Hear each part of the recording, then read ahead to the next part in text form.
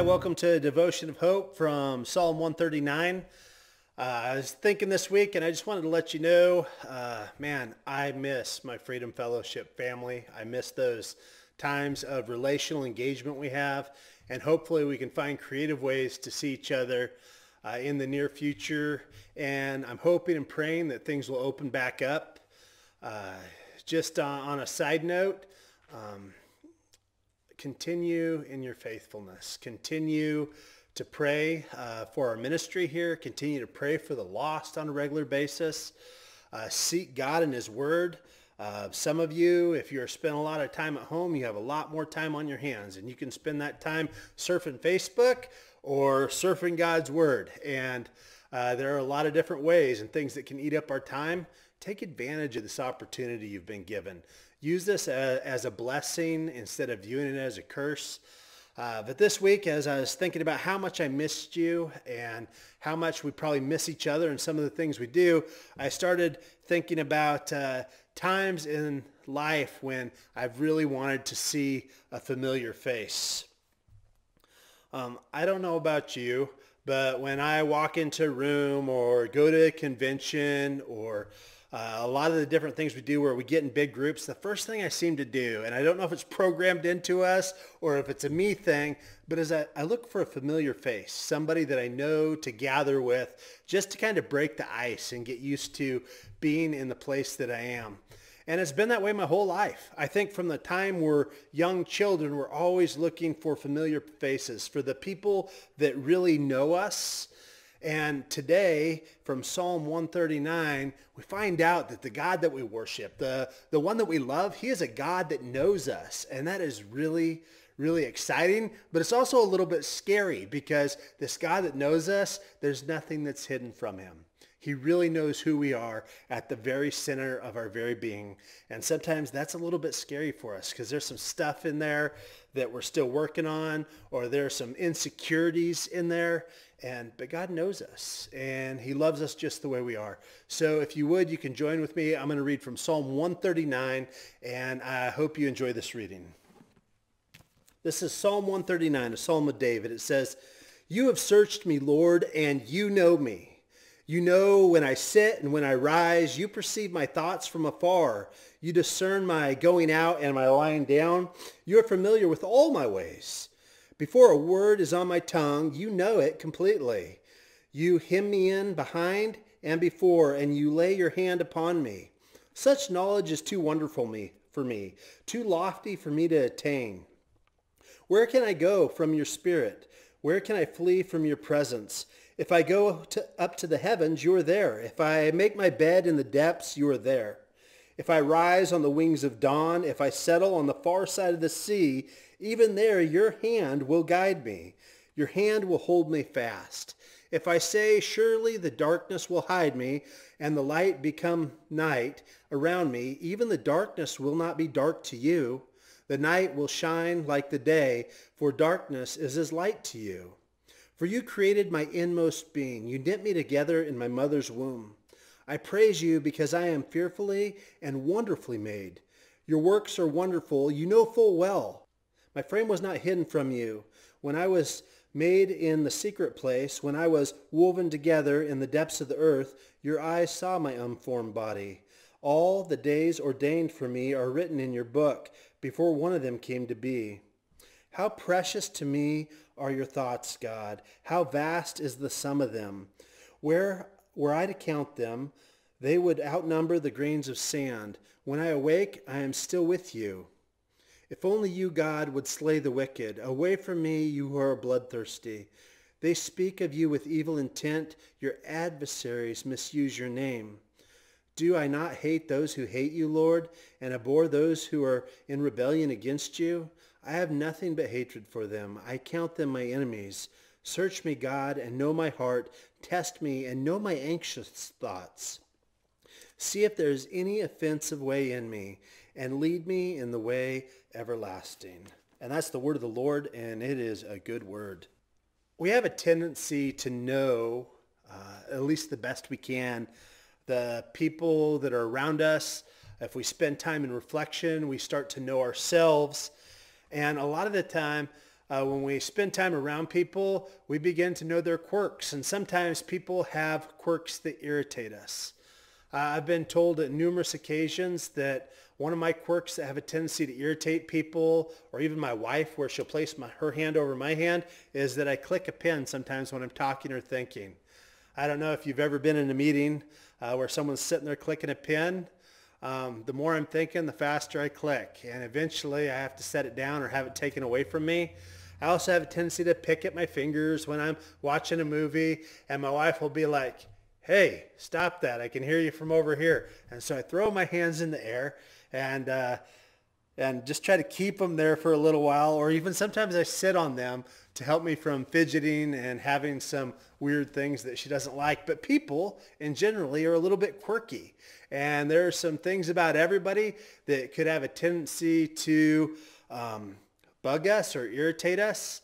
Uh, like like when you're eating at the table and someone's talking with their mouth full and a piece of what they're chewing on lands in your bowl, it's a little bit irritating at times. And it doesn't mean we love them any less. It just means they have some quirks that sometimes um, kind of grate on our nerves. And, and that's that's what we are as people. We have quirks and things that make us different and different ways that we were raised. And so there's some differences in us and sometimes we don't like the things that are different from the way we do things. The interesting thing, uh, one of the things I got out of the psalm is that, is that God knows us. There's a, a, lot of things in there that say that God knows us um, like really, really well.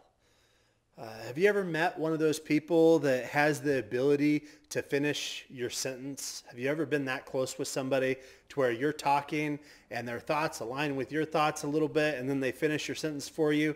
Or sometimes really weird people that constantly finish each other's sentences for each other. If, you, if you're one of those, I'm sorry. I love you. God loves you. Um, just sometimes stuff like that happens uh, when we're around people, when we have a relationship with people, we become familiar with their patterns. And God, God knows our patterns. He knows us well enough to most to know what we're going to say before we say it, to know how we're going to react in situations. He's just a God that knows us. And it's really good to know that we are known by God. We can't hide the real us from God. Um, you can't hide anything from God. He, he knows who you are. He knows what you're up to. He probably even, I know he knows how we think. He just knows our patterns because um, we're in relationship with him and he, and he knows us and he knows our quirks and those things that are hard and those things that we don't want people to know about us. And in spite of all those things, in spite of all those things, he still loves us. My wife uh, has a tendency to do this thing to me that drives me crazy. I'll be talking and she'll say nevertheless out loud and it makes me stop immediately. And I'll start talking again and she'll go nevertheless and it makes me stop again and then I'll start talking again and she'll go nevertheless and it makes me stop again and it absolutely drives me crazy. But I still love her. I still love her. God still loves us. God still wants relationship with us in spite of all of our quirks, all those things that make you unique and special, all those things that uh, you're like, oh my goodness, this is such a weird thing that I do. Like uh, maybe you have to turn the doorknob three times before you open it, or you just have some weird quirks. God knows all your quirks. He knows all your deficiencies, and he still loves you. Um, you cannot be weird enough for God not to love you. That's probably good news for a lot of us, right? I know it is for me. Um, one of the things that we have to do, that we have to do if we're going to be in relationship with God, this God that knows us, this God that still loves us in spite of all our quirks, is we have to be willing to open ourselves up to God. Um, sometimes we get a little bit prideful and we think, well, I'm going to hide these parts of myself. And we have a tendency to do that when we meet people, don't we? We put our best foot forward, um, usually in our first conversations. Uh, we present ourselves in a way that's maybe a little bit different than how we might present ourselves if we were sitting in the recliner in our living room. Um, that's true for us. We must open ourselves to God. We must open ourselves to God if we're to have a true and authentic relationship with him because he already knows us anyway. He knows every little thing about you and about me.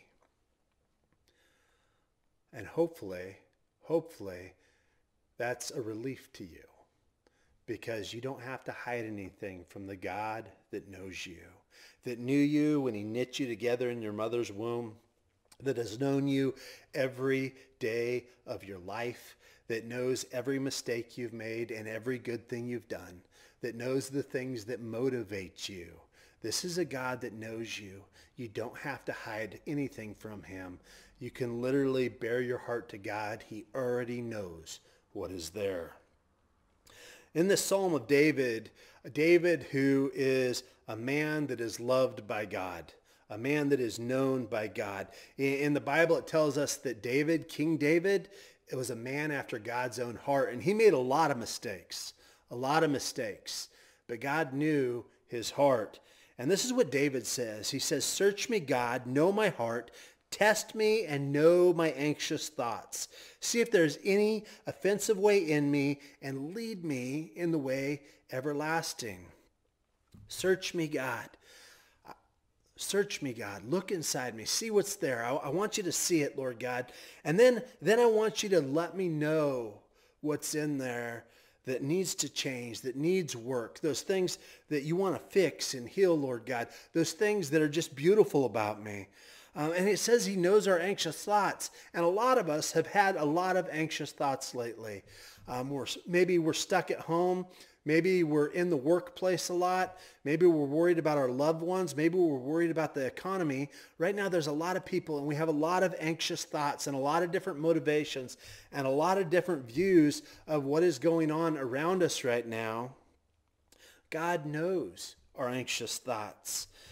Um, we want to make sure that our thoughts are in line with what God wants for us. And then he says, see if there's any offensive way in me. See if there's any offensive way in me and lead me in the way of ever, the way everlasting. We want, we want God to reveal to us those things that are in us that are not of him, that are of us, that are maybe contrary to what God wants for us. God wants good things for us. And sometimes there are things within us that keep us from the goodness that God has for us. And God's goodness is not always defined the way that we define it. Sometimes we define things that are good as in the right job, the right toys, uh, material things, the right relationship with the right person. Uh, we define things a little bit different than God does sometimes. We want to make sure that we look in our hearts and we allow God to search our hearts and reveal to us by the power of his Holy Spirit those things that are not of him so that we can offer those to him and allow him to lead us in that way of everlasting life. life. Sometimes in our relationship with God, we have to be willing to say, God, is there anything I am doing in my life that offends you? Sometimes in our regular relationships, we have to be able to ask that same question. Sometimes you'll be surprised if you open yourself up and allow someone to speak into your life uh, you'll usually find opportunities for growth, even if you're not looking for them. So let's pray about this together today, and hopefully, hopefully, you'll be able to be led by God, and he'll point out some of those things in your heart that he would like to work on to lead you to the places, the good places that he has for you. Let's pray. Father God, thank you for being a God that knows us. Thank you for being a God that has been with us every step of the way. Your presence does not leave us. There is nowhere we can go to flee from your presence. Uh, even if we're in the dark, Lord God, to you, it's as though it is light and you still see us. God, we want to allow you to speak to us. God, we just pray that today as we come before you, Lord God, that you would test us, that you would know our heart, that you would know our anxious thoughts, Lord God. And Lord, if there's anything offensive in our ways, in our doing, in our hearts, in our thoughts, Lord God, that is not in line with the things that you have for us, God, we pray, we pray that you would reveal those to us, that by the power of your Holy Spirit, that you would give us the strength to repent of those things, and that we would be able to walk in that way of everlasting life enjoying the goodness that you have for us, Lord God, enjoying the blessing of knowing a God that knows us. Lord, today just reveal yourself to us once again, Lord. Right now, as we finish this message, we pray that right now, Lord God, that you would reach out, that you would touch our hearts, that you would speak to us, allow us to move into a place of openness with you, a place of connection with you, Lord God, and that you would empower us. Empower us, Lord God, for repentance and the good things you have for us. Lord, we love you and thank you for your goodness once again. Thank you for this Psalm 139 and just that revelation that you are a God that knows us. There is nothing that is hidden from you. Thank you, Jesus. Amen. Uh, this is another devotion of hope. I hope it encourages you and that you'll spend time getting to know the God that knows you. Uh, have a good week. I love you. I miss your face.